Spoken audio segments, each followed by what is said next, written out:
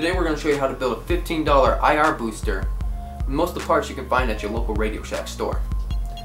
These boosters will outperform most of the higher end boosters out there on the market now for half the price. So just with a little technical know-how, you'll be able to build your own in no time and start saving yourself big time.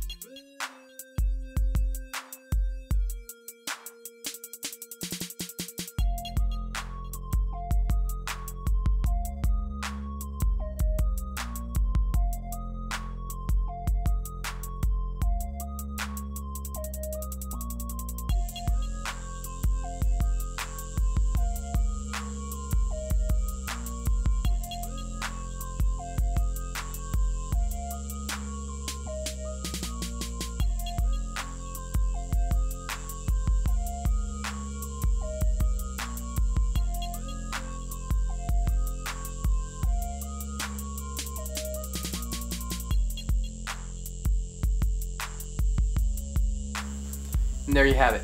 Not bad for 15 bucks. If you enjoyed this video, please rate, subscribe, and add. Thanks.